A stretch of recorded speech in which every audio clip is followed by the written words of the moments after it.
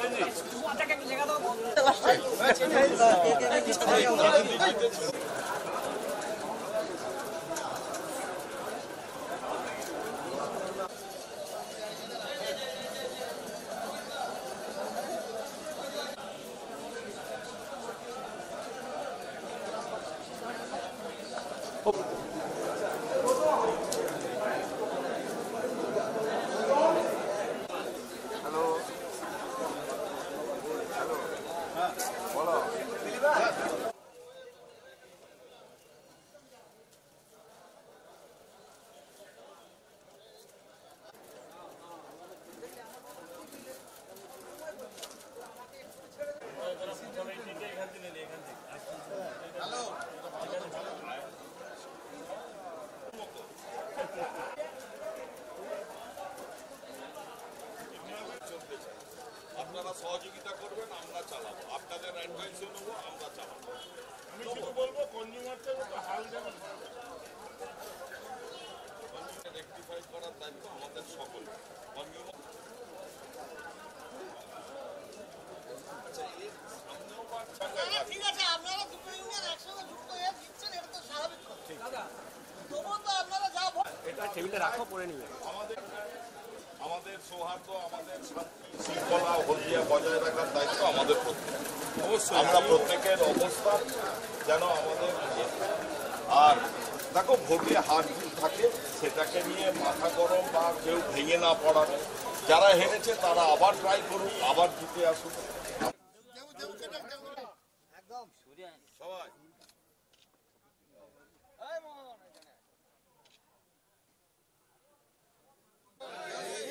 জয় বাংলা। জয় বাংলা জয় হিন্দ জয় হিন্দ। জয় হিন্দ। জয় হিন্দ। চলো আমাদের জাগো বাংলা।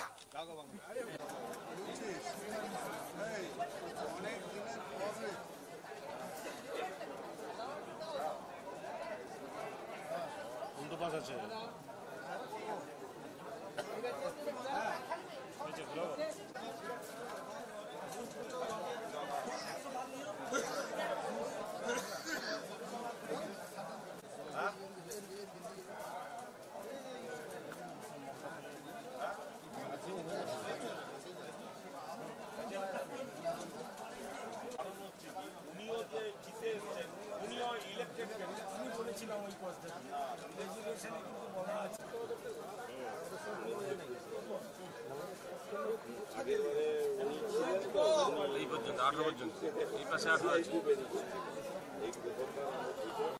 টক ইনস্টিটিউটের এই লড়াই দীর্ঘ চল্লিশ বছর ধরে সিআই টুর এতে ছিল। তারা আহ, এবারের লড়াইটা একটু কঠিন লড়াইও ছিল অস্বীকার করার কোনো জায়গা নেই। গতবারে সিপিএইচইউ এবং সিআই টু লড়াই করেছিল, সিআই টু তাতে এ করেছিল। এবারের লড়াইতে আমরা ইন্ডিভিজুয়ালি একা লড়াইটা করেছি। আইএনটিটিউসি একাই লড়াইটা করেছে এবং চল্লিশ বছর পরে আমরা আঠেরোটার মধ্যে নটা সিটে আমরা উইন করেছি। আর ভাইস প্রেসিডেন্ট আমাদের যিনি দাঁড়িয়েছিলেন, তিনি আনকন্টেস্টেড হয়ে জিতেছেন। আর আপনারা জানেন যে আটটি পেয়েছে সিপি সিআইটিইউ আর একটি বিএমএস পেয়েছে। তবে আমি বলব, এই জয় যারা খেটে করেছে এবং যারা দাঁড়িয়েছে, তাদের নিঃস্বার্থর এটা লড়াই ছিল এবং দীর্ঘ চল্লিশ বছর পরে আজকে এই বোর্ড ছাড়িয়ে, পুরনো বোর্ডকে সরিয়ে নতুন একটা বোর্ড পরিবর্তনের হাওয়া এনেছে। কারণ সারা পশ্চিম বাংলায় যেমন রেড়ে রেড়ে উৎসব উঠেছিল, তার ছোঁয়া এখানে পড়েনি। আর আমাদের মাননীয় মন্ত্রী পরিবহন এবং জলসম্পদ সেচের যিনি মন্ত্রী, তার আদর্শের জয় হয়েছে। আমরা তারই সব, সকলেই সৈনিক। মমতা বন্দ্যোপাধ্যায়ের বাংলার জয় হয়েছে। আর বন্দরের স্বার্থ রক্ষার্থে আমরা বদ্ধপরিকর, সে জয়ও আমাদের।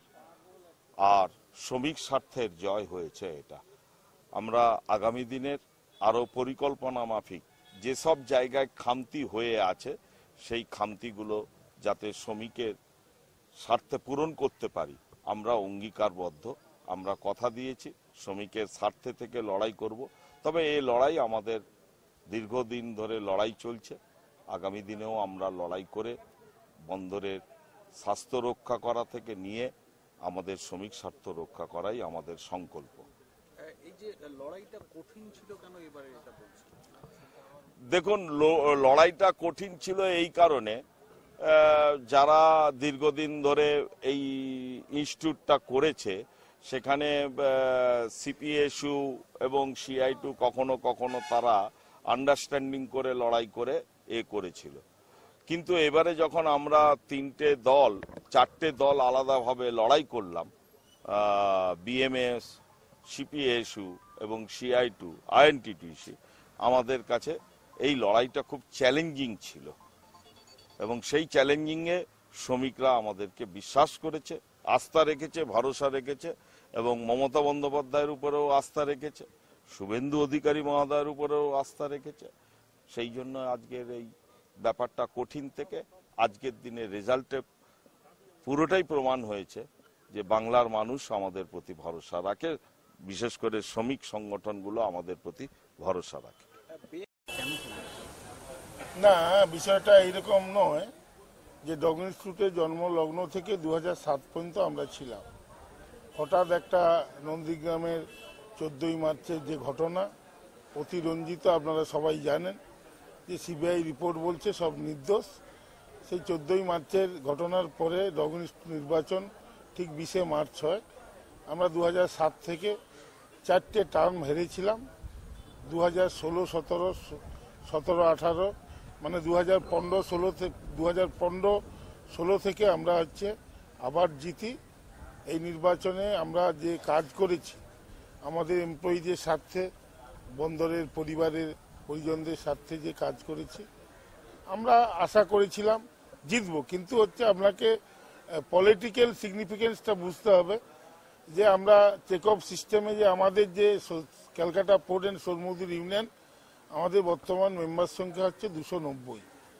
এবং দুটো যে শক্তি জিতল, এটা জেতা নয়, এটা হচ্ছে আমি মনে করি এদের হচ্ছে আন্তরিকভাবে পরাজয়।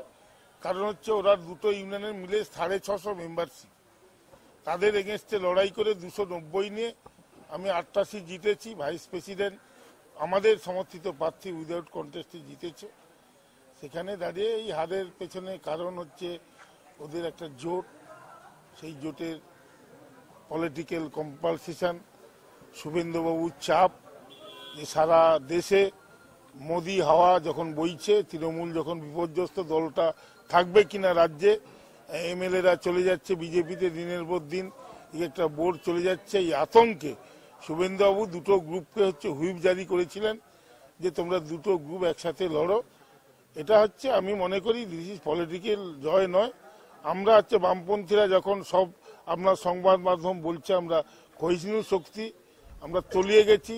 সারা রাজ্যে আমরা যখন সেভেন পার্সেন্ট ভোট আমাদের, সেখানে দাঁড়িয়ে ডগনিস্টুর মতো জায়গায় দুশো নিয়ে আমাদের প্রার্থী হচ্ছে হায়েস্ট ভোট পেয়েছে চারশো বাষট্টি। বিবেকানন্দ স্টেট আমাদের প্রার্থী সেকেন্ড পজিশন আছে, আমরা জিতেছি। আমরা মনে করি এটা আমাদের নৈতিক জয়।